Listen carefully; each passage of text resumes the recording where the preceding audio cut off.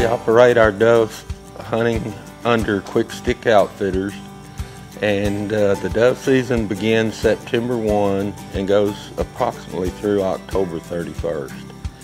We uh, have approximately 24 fields around uh, the area in different spots. The dove hunting here is normally the best in the state. We provide uh, a trailer to drop the guys off around the fields. We come back and have uh, a brunch in the morning and then a dinner at night after the hunt.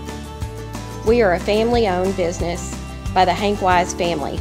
Hank and I have our two sons, Hunter Wise and Hayden Wise, and their families that help us provide a two day, four hunt experience. We provide your meals, home cooked, brunch, and dinner, uh, and enjoy the family environment of sitting around the table and visiting with you. We even have homemade angel biscuits.